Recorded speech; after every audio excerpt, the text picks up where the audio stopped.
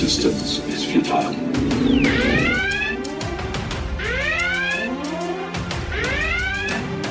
Boldly going where no show has gone before.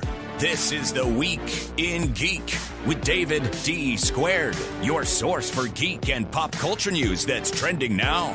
Broadcasting from the Gregory Ricks and Associates Wealth Management Studios, here's D. Squared.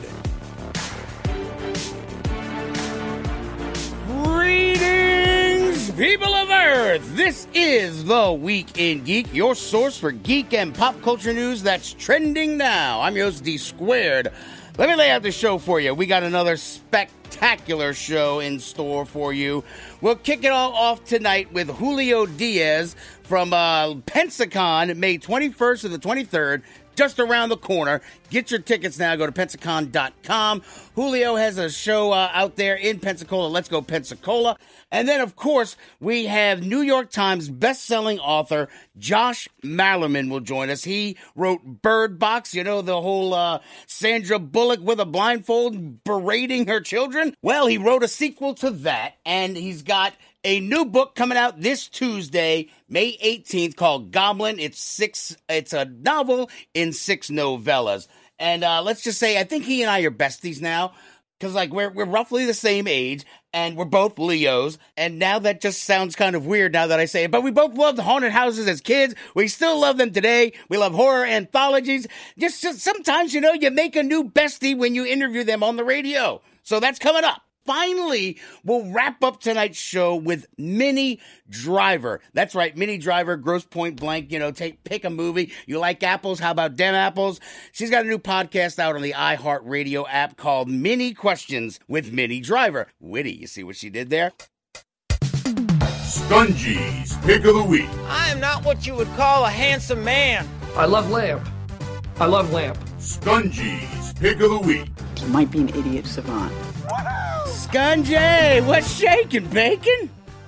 Not a whole lot. It's good to hear from you again. I know, right? I, I don't. I don't know where you were. I, have been putting food out at the behind the uh, radio station every night, and it's just it's still there in the morning. It's really weird. But look, Skungy, we're not doing top nerd news because we haven't done a game review. And when you told me the game review is Resident Evil Eight, I figured, okay, we'll make some room for you. So tell me about it. Resident Evil 8 is um it it's obviously it's not the eighth installment in Resident Evil. I mean, God, there's been so many of them, but it's the eighth, the numbered one in the main series. Okay. So this is a direct. This is a sequel to the seventh one. It's direct. It's three years after it, and it follows that storyline that started in seven with Ethan Winters and his wife Mia. It starts off with Chris Redfield runs into your house kills your wife, steals your baby, and now you're in a European village. So, you mean it's like a normal Tuesday. So this game feels, has very similarities to Resident Evil 4, which in my opinion was the best Resident Evil made, uh, until, you know, 7, which I loved 7 to death. The game, it's a first person shooter like, like 7 was. This one is far more action orientated though than seven was. Seven had was very big in horror. This one does have horror uh, moments in it. And in fact, this game has one of the creepiest, most disturbing sequences I've ever played in a horror video game in my entire life. There really? was a, there was this, there was this playable trailer called PT that came out years ago, which was supposed to be uh, for Silent, the new Silent Hills game. Okay. But Konami threw it away, and because Konami's idiots, and it's a notorious, it's a notorious trail, like uh, a demo that you can't download anymore, but the people who played it, it was so scary. This particular sequence feels like it pays homage to that particular demo. So I'm not going to spoil anything about it, but let me just say that it literally disturbed me to my soul. Wow. Okay, and you worked at Um, House of, and you worked at House of Shock, so okay, all right. I worked Sa- at House of Shock Okay, for sailor. almost 20 years. All right, So the game, but like I said, it's a, it does have, rely more on action. Um, it's your traditional survival horror. You're not going to have as much ammo, but you do have an ammo crafting system in this game. Hmm. So like when you run out of ammo, you find material that you can make new ammo uh, throughout the game, which is incredibly handy. You can also make um, uh, like health, uh, first aid kits and whatnot. But like all Resident Evils, your inventory is always kind of a bit of a puzzle because you have to find out how to fit it's you, it's not an endless supply. So you have to find Okay. out almost puzzle wise that fit this gun and this ammo here. The game itself is about ten hours long. Wait, I'm, what? I'm gonna say it was it was about ten hours long for That- the main story. Now, okay. mind you, I wanted to get through the story and I played it on the easiest difficulty because I wanted to enjoy the story. If you put it on a harder difficulty, it's going to take you a while because you're going to die a lot more. Even on the easy difficulty, I died a lot, but you're going to die a lot more. But there's still more gameplay to it, and I'll get to that in a second. okay. Um, the um the one thing over seven with this one has over seven. There are now a variety of enemies. It's not just the same generic enemies over and over again. They've got Lycans, and then they have zombies, and then they have flying creatures, and then they have giants, and there it's really cool to see that variety, and it's not just the same enemy type over and over and over again.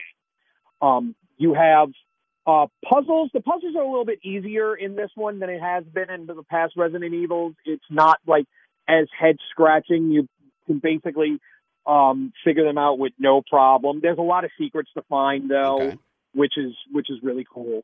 Um, but then the what goes into there's an extra mode called Mercenaries mode. What's the best way I can describe that? It's almost like a horde mode Really? um, gauntlet style where hordes and hordes of enemies that you're going through and you're trying to you're trying to um there's like a time mode with it as well and you're getting um this currency so you can buy new weapons that you can use in that mode and do, new do- special do they have the uh, the creepy trench mode. coat guy where he's like, "Oi, you, come here, look at me trench coat." what are you buying What are what you, are you selling right. well they it's him? funny you should say you do have a you have a merchant in this uh game called the duke Ooh. And at one point in the game, he goes, "What are you buying?" And Ethan goes, "What?" He goes, "Oh, just something an old associate of mine used to say." But yeah, getting back to the the, the main story of it, you have four minions that are completely different, and basically, when you each of their four areas are completely unique and have a different type of gameplay style. One's in a big factory, one's in a castle, one's in like a uh like a a, a windmill with a dam, and another one is in a in a a house, just All a regular house. But that's the one that that's the one that it's just yeah. I don't even like reliving that part of it. It Okay. literally disturbed me that well. I can't get over. I will never get over that scene. All right, I'm I just letting it. you know. All right, that's what that, that's what I needed to know. If if if they finally harken back to the days of, of at least you know disturbing you, if not scaring the bejesus out of you. All right, so uh, price and platform, man. So it's on basically every. It's on PlayStation 4 and 5, Xbox One, and Xbox Series X. It's also on the Dirty Dirty PC, Mm. and it's sixty bucks. Sixty dollars. Well, that's average now, so I I, I can't feign. yeah, but there's a I can't feign shock at some it. extra stuff too. Yeah, but I can't pretend to be shocked by that price tag anymore. You know. So have a wonderful rest of your weekend, all two hours of it, and I'll talk to you next week. All right, coming up next, we got Julio Diaz from Pensacon. Pensacon is May 21st through the 23rd. That's coming up next, right here on The Week in Geek on News Talk 99.5 WRNO.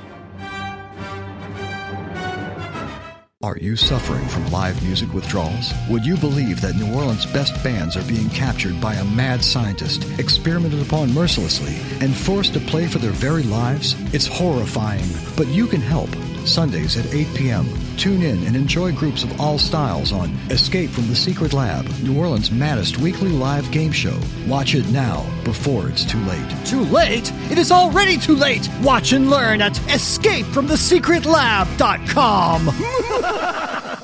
In from the Storm fanzine highlights black female characters in comics and sci-fi. The fanzine is for and by black women featuring original artwork, interviews, and cultural criticism. As black women fans, we have unique perspectives that are often silenced and discouraged in mainstream outlets. In from the Storm is a shelter from the storm, a place for black women to gather, learn, and discuss our black female nerddom. Find them at infromthestormzine.com or at In From the Storm on Facebook.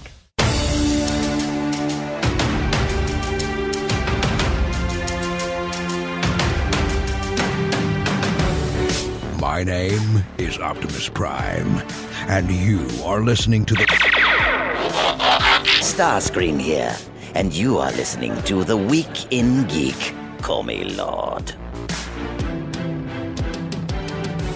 Welcome back into the Week in Geek, your source for geek and pop culture news that's trending now. I'm your host, D Squared. Let's go to the guest line. Julio Diaz from Pensacon and Let's Go Pensacola joins us. Julio, how you doing today, bud? Hey, I'm doing well. How are you? I am doing well, except for the fact that I forgot uh, the, your station's call letters because I'm an idiot. Uh, it's WNRP, News Radio 92.3 and AM 1620 out of Pensacola. Boom. There we go. Thank you, man. All right. So, uh, Pensacon, May 21st through the 23rd. It is on. It's going to happen. The guest list is phenomenal. And really, you know, it's, it's I guess it's, we've had a, a convention like a couple of weeks ago, but this is kind of really uh, almost like officially kicking off the convention season with Pensacon, at least for, you know, big events. So, uh, let's talk about it. May 21st, 23rd, downtown Pensacola. Tell me about it, man.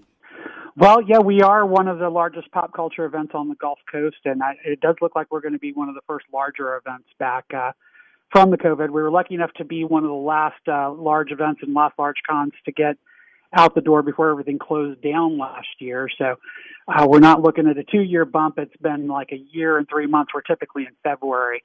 So, uh, so it's been a little bit of a, a longer term, but not uh, not so bad as some other folks have had it. Thank goodness and uh, we're looking forward to it. We've been uh, working real hard. We've got good plans in place to keep everybody safe, and uh, I think we've got a stellar guest list. And you know, we always like to show everybody a good time, show folks what Southern hospitality is all about, as well as uh, having all the nerdy fun that we all love to have. So Amen we are we are here for it.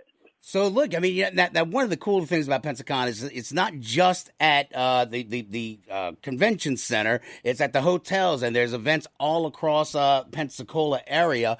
Um, is is it true that there's something wrong with the overpass and the hotel? Like like I I've been hearing like the hotel is getting refurbished or whatever or something. Yeah, well, you know, of course we we had not only COVID that we've had to deal with over the past year. We had a, a little thing called Hurricane Sally. Oh God, yeah. uh, that that we had to deal with, and uh, the hotel did take some damage from that, and they're still in the midst of. Uh, uh, putting everything back together there. So we will not be using the Pensacola Grand Hotel this year, unfortunately. No. Uh, yeah, but we do uh, we do continue to take over pretty much all of downtown Pensacola. So our primary venue is the Pensacola Bay Center, which is our big arena.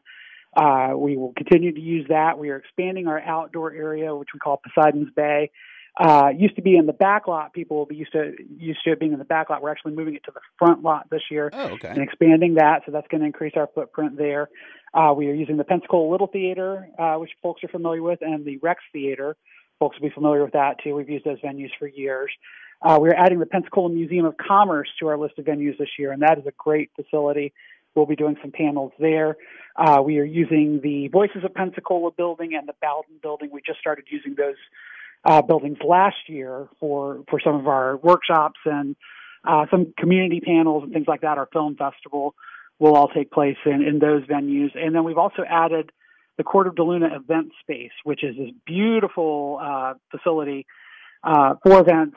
That is uh, one of the big things we're using it for is we've expanded our pass pickup. A lot of people who've come to Pensacon are used to coming in Thursday evening and waiting in a long, long line to pick up your badges. Right.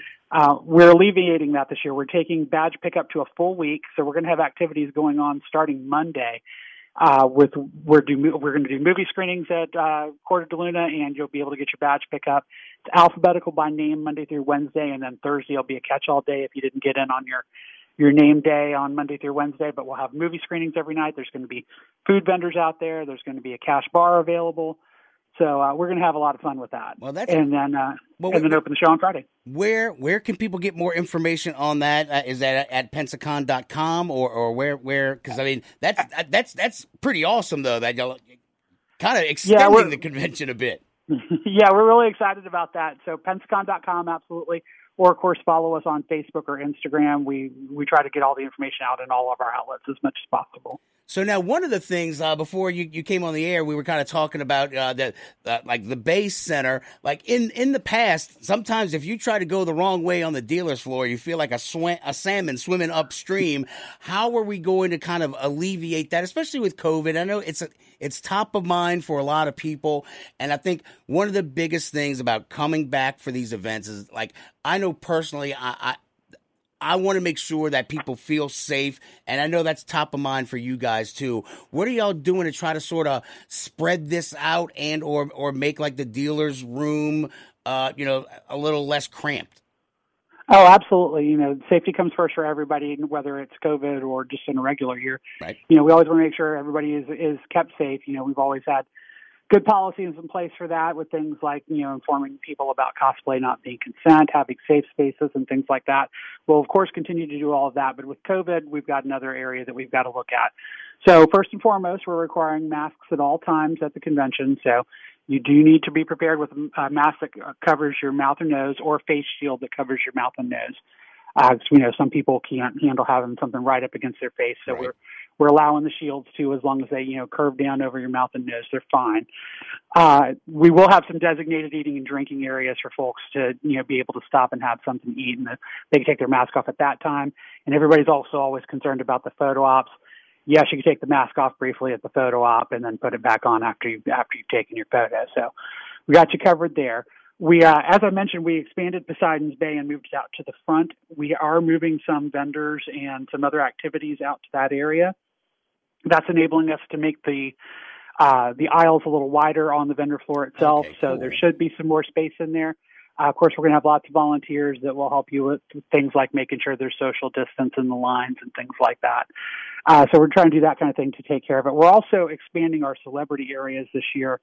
Uh, people are used to coming up to the second floor and going to the east or west side where we have the celebrities for the meet and greets, the autographs, that sort of thing. Yep. Uh, we're going to continue to use those spaces, but we're also expanding to the downstairs meeting room. That would be uh, if you're coming through the VIP entrance it's right there to your left as you're coming in, or folks that are used to coming to the Bay Center for a concert. And there's usually like a merchandise booth that's set up there. It's like a coat check kind of area. Okay. There's a big meet. There's a big meeting room right there that people are used to playing video games in this year. This year we're turning that over to our Star Wars celebrities. Nice. So pretty much all of our Star Wars guests are going to be in that area, with the exception of Ashley Eckstein from uh, Clone Wars. This is the original Ahsoka Tano. She's going to be in a different area. And then uh, upstairs on the third floor in the concession area, it's an area we haven't really used for the public in the past. We are going to use that uh, for a few of our top line celebrities this year as well. That's awesome. We're visiting with Julio Diaz from Pensacon. Let's go Pensacola. Now, talking about the, the guests, let's let's jump into that a little bit. I mean, you've got pretty much all of fandoms covered, but you've got a lot of people from Lost, Back to the Future, Star Wars, Mandalorian, uh, even Denise Crosby from Star Trek will be out there. Um, I guess. I mean, What's your favorite guest? I mean, there's a, there's so many guests that you you guys got this year. Like, I don't even know where to start, bud. Yeah, yeah, it's it's kind of you know it gets a little bit overwhelming if you look at it. We do have over a hundred uh, celebrity guests, artists, authors, you name it. You know, we've got all kinds of cool folks. So, you know, we're really excited uh, about Anthony Michael Hall coming in this oh, year. People, yeah. of course, know him from The Breakfast Club and Sixteen Candles and Vacation and all those great 80s movies that a lot of us grew up on. But you know, a guy that continues to work very regularly, in fact, is in uh, Halloween Kills, which is coming out at Halloween this year. Would have been out Halloween last year if uh, hadn't been for COVID. COVID. He's got a big role in that, so I'm looking forward to seeing him in that. Uh, you know, you mentioned Denise Crosby. She's a she's a good friend of the show. She's been here a couple of times, and we're always happy to see her back. She's just a, George a wonderful went. person. George Wendt too, man. Yeah, man. People are so stoked. It's Norm. Everybody, everybody loves Norm from Cheers. Who doesn't? So, right. And you know, yeah. one of the other things though too, it's like it's uh, the, the author guest though too. Like I, I was kind of a uh, Melinda Snodgrass, uh, who's worked with George R. R. Martin and the Wild Card series and all that stuff. So there's mm-hmm. like there's stuff for everybody. I mean, that's that's what's yeah, awesome. She, yeah, she wrote for Star Trek: The Next Generation too. You know, we've got Peter David who has written literally everything you could think of, from comics to novels to uh, movies, TV. He's written written everything. He's one of my favorite writers, actually. So I'm really excited to see him come into town. Uh, I've only met him once before, so that that's going to be fun to get to spend a little time with him. It's you know it's pretty broad. You know I'm really excited about Patrick Warburton. Uh, you know because yeah. just guy's been in everything from Emperor's New Groove to Family Guy to uh, the the short-lived but beloved The Tick. The Tick, yes. Uh, with with Nestor Carbonell, who's also going to be here, who was on Lost and is on the morning show now. And uh, in fact, I had I had talked to Nestor on my radio show a couple weeks ago. You beat me and, to it. Uh, Just like yeah, give give give, the, give us a little hint of what you talked about and where people can uh, check out that interview, man. Well, you know, the cool thing was he didn't know that Patrick was coming, so I got to tell him that Patrick was coming, and he he got really excited. So you know, I think they're looking forward to to getting to have a little reunion because Nestor said they hadn't seen each other in a while. But yeah, we talked about about that. His wife is also going to be here, Shannon Kenny Carbonell, who's got a book out now about uh, their time when while he was cast on Lost and how that uh, made her transition part, partly made her transition her career. She'd been an actress and she kind of had to become a full time mom take care of the kids while they moved the whole family over to Hawaii during filming a Lost. So she's got a book out about that, and they'll have the copies of the book out at the uh, at the show, so you can get uh, both of them to sign it if you want to. And uh, so we talked about that some. We talked about uh, how they met on a short-lived show uh, in the mid '90s on the WB called Muscle. That was like a Melrose P- Place parody kind of show. Oh gosh. that is so awesome. yeah, good conversation with them. And of course, uh, you know that was on my radio show. We're normally on Saturdays at 4 p.m. on News Radio 92.3 and AM 1620, but it is available as a podcast, and you can find it on Apple, on Stitcher, and on Spotify. That is Julio Diaz, Pensacon, May 21st to the 23rd. Once again, uh, remind people where they can get more information, where they can buy badges, where they can go through uh, the safety protocols, and, and, follow you guys on social media and buy badges, man. Yeah, absolutely. Of course, Pensacon.com is where you can find everything out about Pensacon, including getting your badges.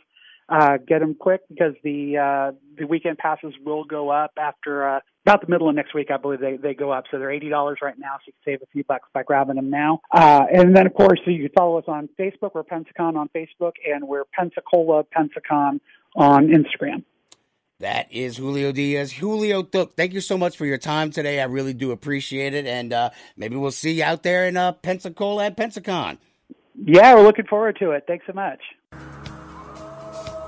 All right, coming up next, New York Times best-selling author Josh Malerman will join us. He wrote Bird Box, you know the Netflix movie based on a book. He's got a new book coming out now, Goblin.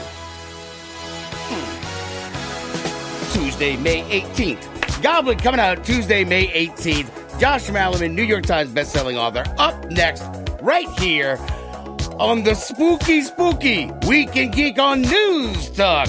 99.5 WRNO. Singing, Michael.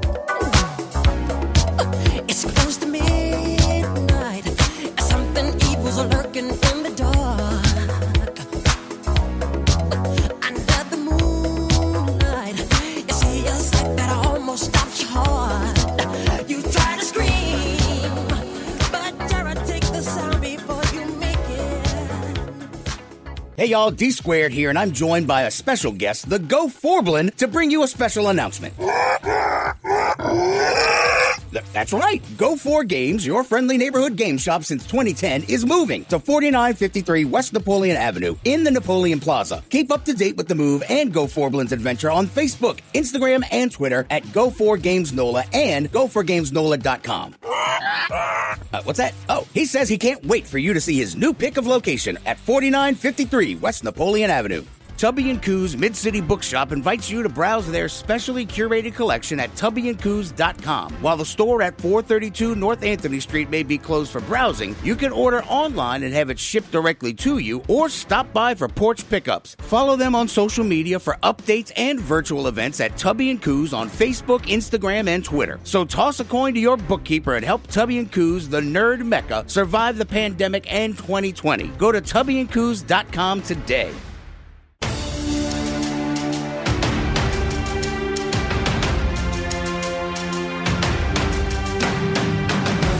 Hello, creeps. It's me, John Kassir, the voice of the Crypt Keeper, and you're listening to The Week in Geek.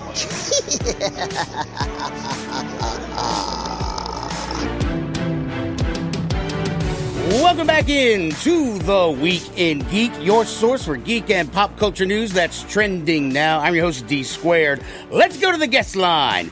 New York Times best-selling author of The Bird Box, musician, singer, songwriter, Josh Malerman joins us today. Josh, how are you doing today, bud?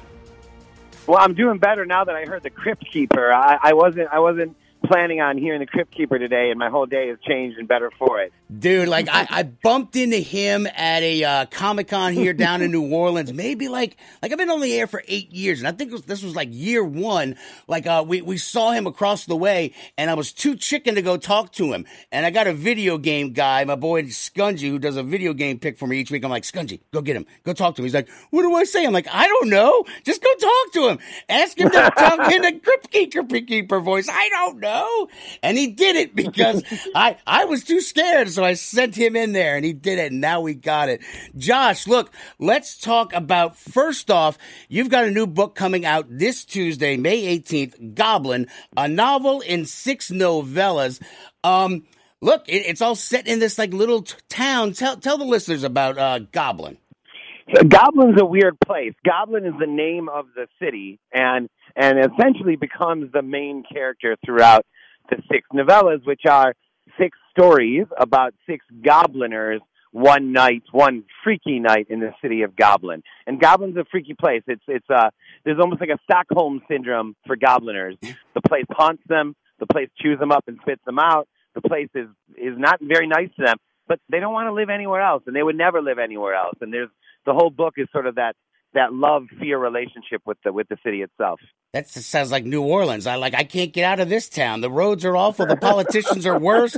But I, I love this town, so I, I, get that. So now, look, this was actually kind of sort of your first sort of novel, really. Like, like this was something that you were writing on the road because uh, your band, The High Strung, you're out there touring the country, and you were writing a lot of these novels and books, uh, like in your spare time. I hope you weren't driving and writing though, but you were doing this out on the road, huh?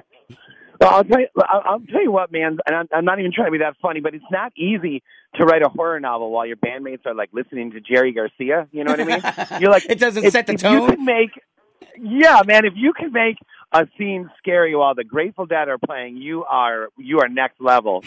And yeah, I was I was writing that stuff like in the passenger seat. The drummer loved to drive. The bass player loves to read. He's in the back, and I'm like, dude, I got four and a half hours today where you know we're not playing, we're not drinking, we're not seeing a city. Let's write. And and I started. I, I must have done eight or nine through through like on the road in various locations across the country, and Goblin was one of them. And so I back then I would post online, you know, like I finished a book today. I finished a book today. And an unbelievable moment in my life is when um a friend from high school called me. And he's like, "Hey, I see that you're finishing like a book a, a book a month. It looks like do you mind if I send one of them to a lawyer that I know that represents authors in LA? And I'm like, I, lawyer, like there's nothing here to law. I'm like, what, what do you mean? Like it's just me, in a, you know, like with the stack of books, growing stack of books. And then, so insanely, I sent him Goblin thinking, and this is how naive I was. Well, if he doesn't like the first novella, maybe he'll like the second. If he doesn't like the second, maybe I, I thought it was like I had six chances in one. right. And it and it turned out that the lawyer liked it. He calls me and he's like, I have a great manager for you. And that manager now, we've been together for like 13 years. Um, he's the one that got the agent that got Bird Box published. He's the one that got Bird Box option for film. So Goblin plays a major, sweet spot in my life. It's it's the book. Kind of, I guess you could argue it's the book that like opened opened some doors for me. We're visiting with New York Times bestselling author Josh Malerman. Goblin out this Tuesday, May 18th. Now, uh, talking about, about Bird Box, I mean, look, that, that was kind of the one that, that was your, you won a Bram Stoker Award for your, your first novel. Now, I, I mean, what was it about Bird Box? And, and also just another thing, what screwed you up so much that you, you, you got some scary stuff in your brain, bud? yeah, you know, it, it's funny a lot of I think that what it is, I think that the the allure of horror okay is for me is that like it kind of requires this like arrested development. Otherwise, the whole time you're like, nah, that would never happen. Nah, I don't believe in ghosts. Ah, that's stupid. But like, I still get scared. Like, I still get scared. My my fiance and I watch a, a demon possession movie. 4 a.m. I'm like, hey, uh, baby, can you uh, can you walk me to the bathroom? You know? so I still get scared, and I. But the beauty of it is, is it it's almost like a constant reminder of I don't want to say childhood, but like imagination, wonder, believing in crazy stuff. And horror does that for me. Like I, I can like keeps me young, keeps me keeps me like the magic of childhood alive. So you know, it, it's funny because like like I love haunted houses. Like I'm a haunted house junkie. Like going to Universal Halloween Horror Nights, and then like my very first paying job as as a 15 year old was working at a haunted house down in New Orleans. We had this Scout Island, and it was a haunted hayride. And there's just something about the Halloween time and just the uh, you know the, the the the getting scared, and and it's just like I don't know why I enjoy it because nine times out of ten I don't really like reading horror stories because it messes with my brain. But the jump scares and and and the ambiance of walking through a haunted woods, you know, haunted air quotes, but also these haunted houses. It's just something about that that really just I don't know. It makes I guess maybe it's a constant reminder that oh my one day you're gonna die, but maybe it's not today. Yeah, exactly. Some people will say that the, the their appeal for horror is that it's something that you survive. You survive all those movies. You survive those books. It sounds silly to say you're just holding a book or seeing a movie, but you're inside that experience. And, and a video game is even like next level, right? Oh, and yeah. you survive that. And and and and I get that, but I, for me, I think and by the way, uh, the haunted hayrides of my youth, like, oh my gosh, we talk about scary. I loved that stuff. Um, yes. And, but there was also the suggestion in for the duration of that hayride, the duration of the movie, that there is more out there than just you know what we take for granted or believe reality to be. And that side of it, that side of it, I cannot get enough of. That there's like just a little tear. You know, maybe it's just a, a person experiences it once a year on a hayride on Halloween, but there's a little tear in the fabric that maybe this stuff is real. We're visiting with New York Times bestselling author Josh Malerman. Uh, Goblin coming out Tuesday, May 18th. Bird Box. But now you've got a, uh, a sequel that, you know, kind of building on what we were just talking about. You know, she survived the first movie, but no, you got to bring her back and throw her back into the mess again. Mallory, supposed to be coming out, what, July 21st? A sequel to Bird Box? Yeah, yeah, yeah. The the hardcover came out July 21st, and then the paperback comes out same day as Goblin.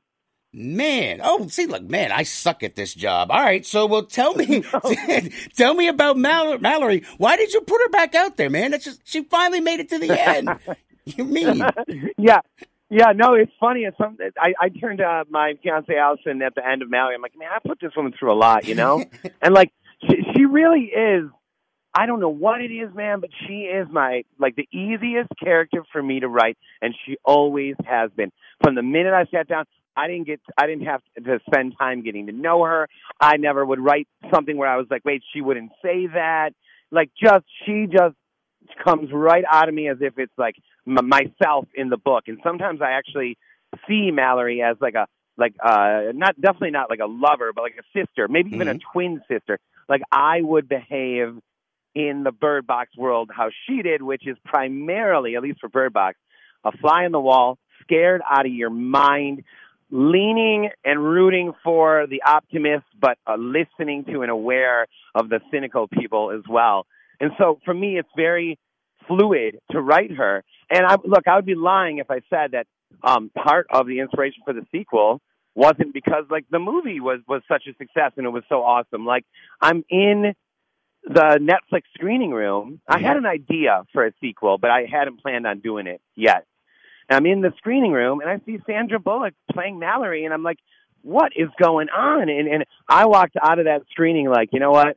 Yeah, maybe, maybe it's time to write that follow up. I, I want more. I want I want to know what happens to this character. Well, you know what's cool? It's like I, I when, when when this interview got set up, I went back and watched Bird Box again, and it's funny because like being a parent, like kids are dumb sometimes. It's like like kids, their survival instinct really sucks sometimes, and you got to remind them. And, and it was so funny because when Sandra Bullock's yelling at him, it's like you do what I say, you say it, you do it when I say it, you don't take your blindfold off. And I'm going, oh my god, like that's exactly how I would yell at my kids to be like, look, just do it because if you don't, you're gonna die. And if I go down, you just keep running. You get me? Do you get me?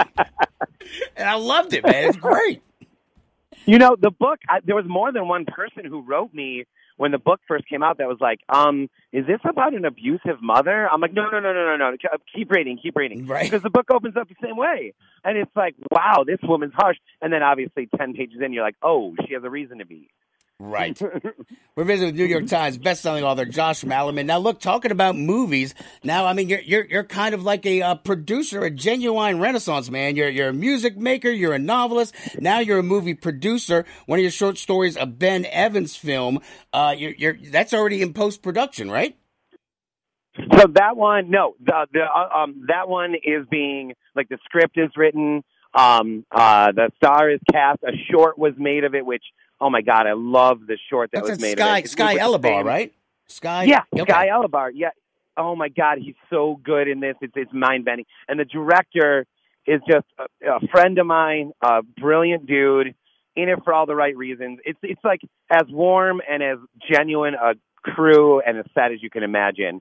And uh, Ben Evans' film is essentially about a guy who will make a movie at any cost, and he doesn't have any actors, and his parents just died, so he uses their he uses their corpses as as his actors, and he does all the voices for them. So, so you, you- can. so, as you can imagine, uh, it's uh, the short. James enlisted his grandparents to play the corpses. I mean, Oh, truly God. funny, awesome stuff. And the manager I told you about earlier, who uh, I was introduced to like 13 years ago, Mm-hmm. Him and I started a production company called Spin a Black Yarn, and we started it because you know we didn't have any say on Bird Box, which is fine. We, I mean, more than fine. I was like, take it, do what you're going to do with it. Right. But once Bird Box was over, we were like, for now on, let's be producers on what we do. And so we started Spin a Black Yarn. A Ben Evans film is one of the movies we're working on, and we need to do something.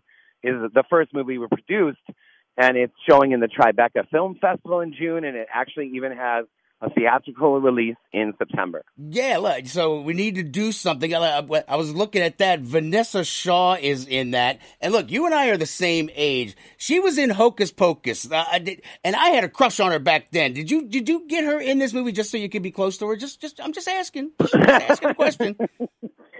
You know, when when I met her over the Zoom, I was like, "This is crazy! I can't." Like, dude, she was in um Eyes Wide Shut. Yeah, yeah. She was in a Stan- that woman worked with Stanley Kubrick for crying out loud, right? Right. That's insane. Um, yeah, dude. Yeah, she was, dude. She's phenomenal, phenomenal. They all were, and they were like funny, and also it was like this was shot during COVID. Like no one was allowed on set. It was like a lockdown set, but the movie takes place entirely in a bathroom for people that get stuck in a bathroom during a tornado. So it's like kind of the perfect movie to have filmed during COVID. You know, there's there's been a lot of those. I, I'm I'm blanking on the name of the movie, but there's been a lot of movies where they use like a small cast, sort of like stuck in one room, and it always has this like like I, I grew up doing musicals and theater and all these things, and it a lot of movies had this new like the, the COVID era movies, I guess we could call it now, have this small sort of theater style where it's just the actors are almost on a stage and there happens to be cameras there and it happens to be a movie, but it's got that sort of like intimate feel nowadays because you can't have these huge cast and blockbuster sort of films and that brings stories more to the forefront. I think that's one of the best positives you can pull out of the whole COVID uh, pandemic era we've had. Man, you are so speaking my language right now. So, like, Who's Afraid of Virginia Woolf is like well, my probably my all-time favorite movie. We're talking like four people in a most of the time in a living room, right? Um, and then in a bar, and and same exact. I could not agree more that there it, it does. It feels more like a play, as you said, with cameras rolling. It's a fantasy of mine to eventually one day open like a Grand Guignol like horror theater, right? Right. Where it's just a dark, you know, box of a room. The stage is lit up, and and and and no, and all, all the effects are obviously like practical. Like if someone's beheaded, we roll a head across the stage, right? And and what you're describing is, yeah, I guess if there's going to be one artistic silver lining, is that it is kind of saying, hey, we less spectacle because we can't do it, and more story. I, I, you're totally speaking my language. We're visiting with New York Times bestselling author Josh Malerman. Goblin comes out May 18th. Now, you know, do you have any plans on in, in Goblin and the Gobliners maybe creating, I don't know, like it seems like it's ripe for a uh maybe a mini series or something like that, kind of like you know, like the Stephen King sort of. It's always those north uh, eastern towns because it was funny. Like the first story after like the prologue, you know, the, the little kid is kind of g- giving you a rundown of all the the uh, landmarks of Goblin Town, sort of thing, and it just it, it painted an image and i'm going you know what this has this creepy vibe of a place where there's probably a story behind every storefront and under every rock Yeah, dude, yeah. Um, me and Ryan are, are the manager. We're trying uh, to get like a TV series, exactly what you're describing, man. Because you know, my favorite thing is the Twilight Zone, and Goblin is just primed for that. And and uh, you were right on two counts. When I started the book, I had a list of like all those landmarks, like the Woodruff Hotel, the Milky Way movie theater, you know, Goblin. Game, the cemetery, Parish Park. And then it was like a story could happen in each one of these, just like you're saying. And so once that door kind of opens for you as a writer, then it's awesome, right? So liberating. It's also overwhelming because you're like, oh boy, I could tell a hundred stories in this town. So I know, yes, Ryan and I are trying the TV side of it, and also I am considering a second like installment of like six, six, seven, eight more novellas that take place in Goblin. Yeah, Dude, that's awesome. Like you know, like like you know, I, I think back. I guess it was like the the nineties and stuff where they had that TV show Monsters, and then the Amazing Tales. There was always these cool little, like even uh, oh my god, what's his nuts theater? Uh, oh my gosh, I'm blanking on Ray his- Bradbury. Yes, yeah. You know, there was all these Yeah. cool little short stories, The Outer Limits, which was okay, but actually it's funny, like The Outer Limits. But they had, they had Ryan Reynolds as a kid in some of these, man. It's like I'm watching. I don't know if you ever heard of Comet TV. It's like basic, not even basic cable. It's like basic antenna TV. But they've got all these old like sliders and Outer Limits, Ray Bradbury. And every time, like I'll, I'll run across it, there's always some famous actor who was, you know, cutting his teeth in the Outer Limits or Ray Bradbury Theater. It's awesome. Yeah, no, I know, and and there's something about like anthology horror that just, uh, man, I've always liked Creep Show. Yes. Twilight Zone, the movie, is the first movie I, uh, the first scary movie I ever saw. All those Amicus anthology movies. What they do for me is like, it's like, okay, if you don't love this one, well, you're gonna love, maybe you'll love the next one, like the next segment. It's like, it, it's somehow by dispersing that spotlight on this like one story it, it's like the stories end up helping each other, and then you, by the end of it, feel like you had experienced like a whole tapestry, a variety of horrors versus like one arc. That, to be honest with you, in a novel and a movie, it's sometimes hard to sustain that like doom, that dread, that Yeah. horror for the duration of like 400, 500 pages. But a novella, mm, it's like the sweet spot. And the same thing with what you're describing, these anthology like episodes. Josh Malerman is our guest, New York Times bestselling author. Goblin comes out May 18th. All right, I guess uh, one final thing. I mean, you know, we talked a lot about like Halloween and stuff. Uh, are, you've got an Audible original coming out, or, or am I working on old information again? Now I'm like, I, I wrote this in my notes October 29th, Decorum at the deathbed, or am, am, am I sucking at my job again? No, no, no. It it came out uh, this past October. yeah, Damn it. Decorum at the deathbed. Damn In, in which, in, which a woman jogging through the woods chances upon a freestanding confessional booth, not attached to any church. What is and it, you- like, you can like only Lucy? imagine, you know. Uh, get, what, a nickel for uh, free healthcare advice. What is it? Oh my God, the, the peanuts. One nickel. Oh God. All right, continue. Sorry, squirrel. No, yeah, you can just imagine, you know, uh, you know, she, she uh, who wouldn't enter that confessional booth, and and who wouldn't maybe confess something, and oh my God, does it feel good to confess in there? Well, you know, maybe I'll confess a little more, and God, it feels so good that maybe I need to start committing atrocities just so that I can confess them. I ran out of stuff, so I got to go out and do more things because I need something Yeah. to talk about. Oh Jesus, that is awesome! New York Times bestselling author Josh Malerman. Josh, all right, what what are you working on next, man? What what's what's next for Josh Malerman? Dude, I am not kidding when I say that when we hang up, I'm going to my office to finish the newest book that I'm working on. I'm one session away from wrapping that book, and it's actually called Spin a Black Yarn, which is where Ryan and I got the name for our production company, Spin a Black Yarn. I'd been working on this collection, and we're like, we should just call our company that title. So I am, I'm, I'm talking like like three hours away from wrapping a book today, and I'm like, as you can imagine, I'm ecstatic. Dude, that is awesome. Where can people follow you on social media and keep up to date with all the stuff you're working on, man? It, it's just out, you know, all, it's just my name, Josh Malerman, one L M A L E R M A N, at uh on Twitter, Facebook, and the website used to be boring, but it got better recently. So so so check it out. There's even a free novel up there, literally just a novel that you can't what? get on ebook or hardcover. It's even longer than Bird Box, a full novel that's just sitting there. It was serialized. It's done. It's all sitting there just waiting to be read. So so the website's actually a fun place to go now. There you go. So like, like here, we, your, your your music's gonna bump you out to break. Uh, you know. So look, you are you getting back in the studio anytime soon? You still doing music, or what's up with that? Yeah, we're trying to record um at least like a few new songs in July. That's the plan. There you go, Josh. Thank you so much for your time today. I really do appreciate it, man. Oh my God! Thank you, thank you for having me. That was awesome. Yes, sir. All right, hold, don't hang up. All right, coming up next, Minnie Driver, her new podcast on the iHeart Podcast Network. Minnie questions with Minnie Driver. Coming up next, right here on the Week in Geek on News Talk 99.5 WRNO.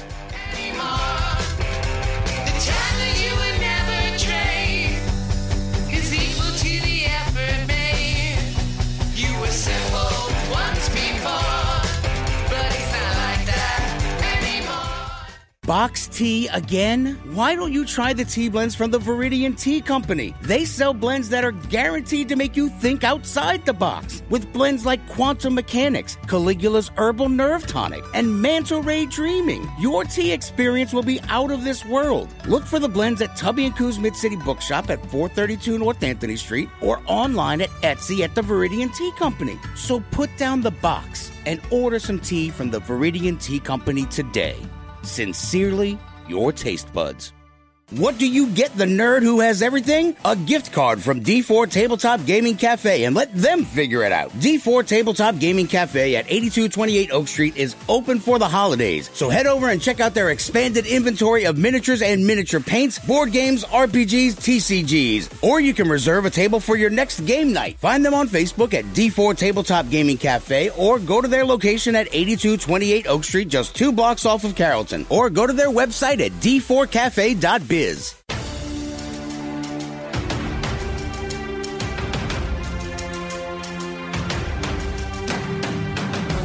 This is the Week in Geek, your source for geek and pop culture news that's trending now. Like them on Facebook and follow them on Twitter at Twig Radio.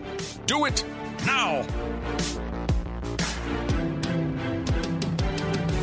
Welcome back into the Week in Geek, your source for geek and pop culture news that's trending now. I'm your host, D Squared. Let's go to the guest line. Oscar, Golden Globe nominee, singer, songwriter, and now podcaster, Minnie Driver joins us with her new podcast on the iHeartRadio app, Minnie Questions. Minnie, how are you doing today? I'm doing great. How are you? I am awesome. Look, let's talk about Minnie questions. Uh, this is something that you it just started back in March. You've got some amazing guests already out there with Viola Davis, Dave Grohl, Chelsea Clinton. Now, uh, tell me and tell the listeners about your podcast and what Minnie questions is all about. Well, I really uh, I like the um, I love I'm very nosy, put it that way. okay. I'm a busybody. I like to know people's business. So the podcast is me asking the same seven questions to a variety of different people um, from all different, uh, all experts in their field in a way, and kind of creating some kind of cultural anthology. Like it's, um, and the questions kind of run as deep or as shallow as the guest decides to answer them. And it was conceived during lockdown and when when everything was sort of shut down I was like what can I do that's creative and how can I stay connected to people? And um, it's it's it's really wonderful it's a great privilege speaking to the people I've spoken to so a lot of these questions are, are based on the uh, Marcel Proust uh, questionnaire where you know it's, it's a lot of there's a few like what's your favorite color but uh, some of the questions really do kind of dig deep, like when and where were you happiest, your least favorite quality, your last meal. But Minnie, tell me, you know, you're asking all these questions. Have you found any sort of uh, common theme with your guest in all of these questions? Yeah, the common theme is that when you ask someone a question like "What would be your last meal," while you get the the you get the actual answer and the quite literal meat and potatoes of their answer, there is always a trigger. There's always a trigger into something that's deeper, into something that is more spiritual or something that is more expansive.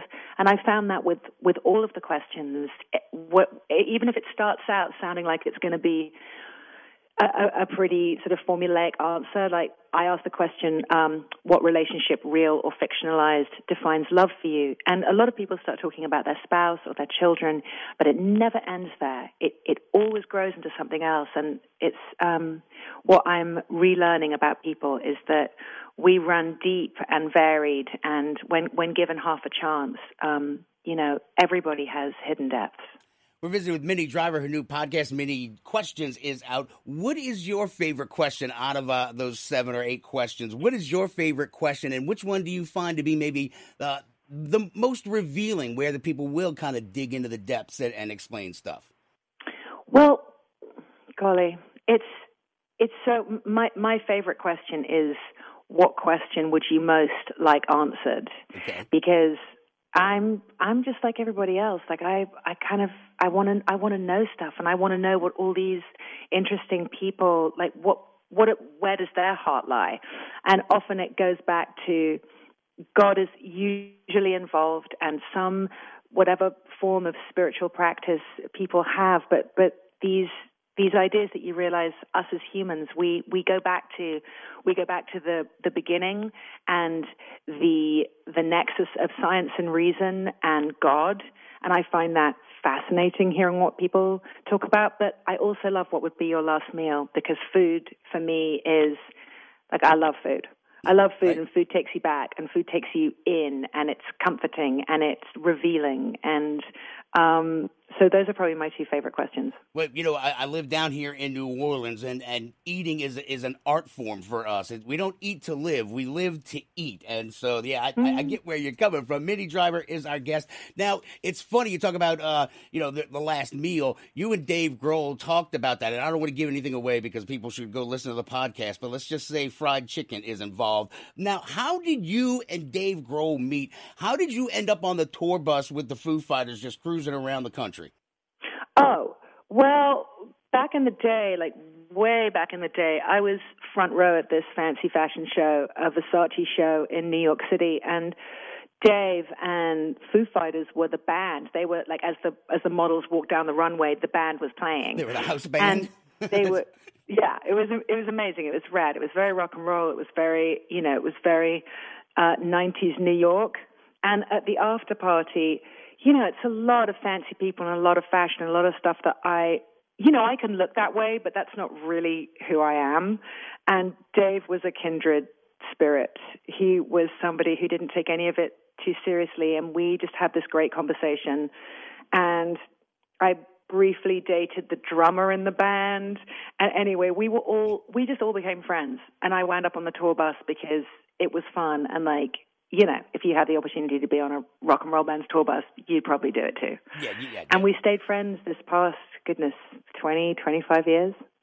That is awesome. Minnie Driver is our guest. Minnie Questions is out now. Subscribe to that podcast. Now, uh, another thing, like when, when you and Dave were, were, talking, it was so so funny. Like you had just this natural, funny laugh with, with, with him, and and you just talked about how you know the, about the '90s and stuff. You went to finishing school, right? Like like is it like My Fair Lady, like the rain in Spain falls mainly in the plain? What was finishing school like?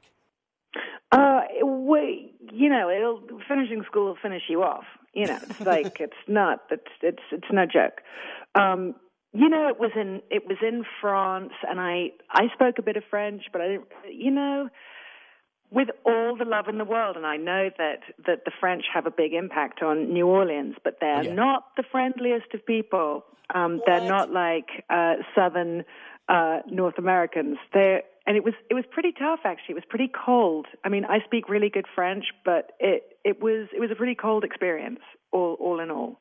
Yeah, I speak a, a, a, smidge of French, and but we speak Cajun French, so it's, it's not like the Parisian French. Now, uh, no, it's different. So the music in your podcast, you're, you're a singer songwriter. Now, uh, the the music in the podcast that's yours. Did did you agonize over which sort of music to use for your podcast? Yeah, it's tricky because you, you know, you. I knew I was going to use something that I'd written um, because, dude, I wrote the show, I conceived of the show, like I, I called the guests up myself, like the whole thing is mine. So I was like, I'm going to write the music too. Yeah, it was it was tricky because you, I didn't know whether it was. You didn't want anything that sounded too kind of standoffish. You want to welcome people in. So, and it was also it had to fit. So I just went through my not vast catalog of, of songs. I was going to write something spe- especially for it, but um, it was it was fun. It was fun trying to figure out what was the best illustrator. That is Minnie Driver. Minnie, what, what, one final little question. What is your favorite color? Because I, I'm just, you know, inquiring minds need to know. My favorite color is emerald green. Ooh, that's that's highly specific. Mm-hmm. All right, Minnie, thank you so much for your time and keep up the great work. Thank you so much. Thank you. You are welcome. Okay, wow. Uh, if, if that voice doesn't do it for you, I don't know what's wrong with you. Maybe you don't have a pulse. I don't know, but I don't know. She she could tell me anything in that British accent, and I would believe it. All right, that's about just gonna do it for tonight's show. Let's thank all of our guests. Julio Diaz from Pensacon. Check out his show. Let's go Pensacola. Pensacon is May 21st through the 23rd. Go to pensacon.com to get your tickets now.